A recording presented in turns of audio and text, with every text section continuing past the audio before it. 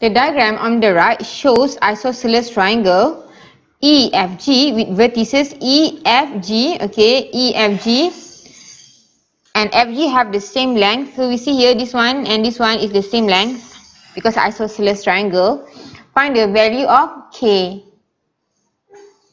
So distance is the same. So we know that distance is equal to so x2 minus x1 square plus y2 minus y1 square. So distance x square plus distance y square. So here distance of FG because we have the point. So x and x here you see here x is 7 minus 4. So 7 minus 4 square plus y is 8 and 4. 8 minus 4 square. So here you get 3 square plus 4 square which is equal to 9 plus 16, 25 or 5. FG is equal to 5. Then EF should be 5 as well. So EF is equal to distance x is equal to 4 minus 0, 4 minus 0 square plus distance y is 4 minus k. 4 minus k square equal to, you see here this one is 5, so this one is 5 is equal to 5. So now we can remove the third by bringing it to the right so we get 4 square plus 4 4 minus k square is equal to 25 because 5 square is 25. So 16 plus, so 4 square is 16.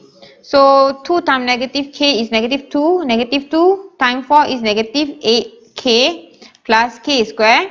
So here we bring at one side minus 25 is equal to 0. So here 16 plus 16, okay. So k square minus 8k So 16 plus 16 minus 25. So this one is 32 minus 25 is uh, plus 7 is equal to 0. So k minus 1 and k minus 7 is equal to 0. So k could be 1 or 7. So you see here. So you see here.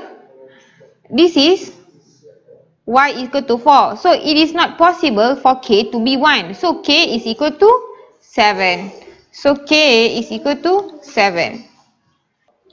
So h is a point on the line y is equal to 11. So at y is equal to 11. So there is point h. And we know that eh is equal to gh. So eh, lama. So eh So EH is equal to GH, this is H, where we don't know the X but the Y is 11. So find the coordinate of H. So we know K here is 0, K is 7, 0, 7. So when you say that, when we know the distance and we have this point, we can find the distance. So distance of EH is equal to distance of GH, where the distance is equal to distance of X square plus distance of Y square is equal to distance of x square plus distance of y square. For EH, we can see the distance of x is we have x and 0. So x minus 0 square. It doesn't matter if you do 0 minus x or x minus 0 because like when we square, we will still get the answer. So 7 minus 11 is negative 4 square. And here for GH, G and H. So for x, this one is 7. 7 minus x or x minus 7 square and here would be 11 minus 8 11 minus 8 is 3 square. So we get uh, so because we have surd we can cancel off the surd so this one we get x square plus 4 negative 4 square is 16 is equal to when we uh, when we expand we get x minus 7 square plus 9 so x square plus 16 is equal to when we expand we get x square So 2 times negative 7 is negative 14 times x is minus 14x. 7 square is 49 plus 9.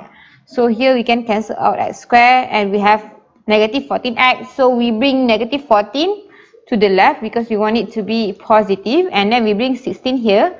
So we can see we have 14x is equal to 49 plus 9 is 58 and then 16 we bring to the right we become negative 16 so we get 42 So x is equal to 42 divided by 14 which is equal to 3. So h we get x is 3. So we get h is 3, 11.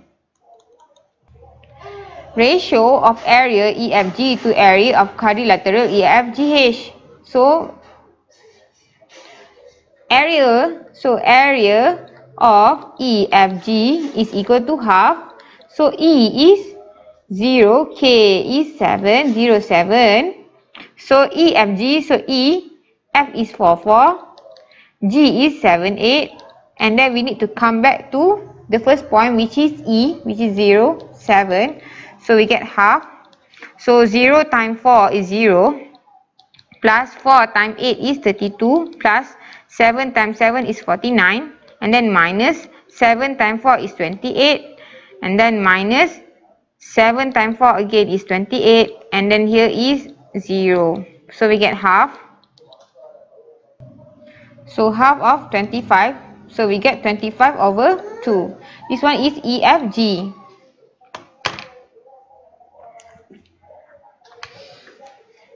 so area of EFGH is equal to half.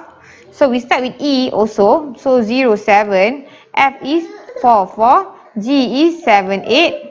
H is 3, 11. And then we come back to E which is 0, 7. Okay sayang kejap. This is equal to half. 0 times 4 is 0. 4 times 8 is plus 32. 7 times 11 is plus 77 and 3 times 7 is plus 21 and then from below to above is minus minus 28 and then minus 7 times 4 is 28 8 times 3 is minus 24 and then here is 0 so we get half. So we get 50 so we get 25 so we can see this one is 25 over 2 and this one is 25 so we can see that 2 EFG is equal to EFGH. So EFG over EFGH is equal to, so EFG here, over here, will equal to 1 over 2. So the ratio is 1 to 2. Or you can see this one is uh, obviously a rhombus. So half of the rhombus is equal to uh, 1, 1 and we get the area lah.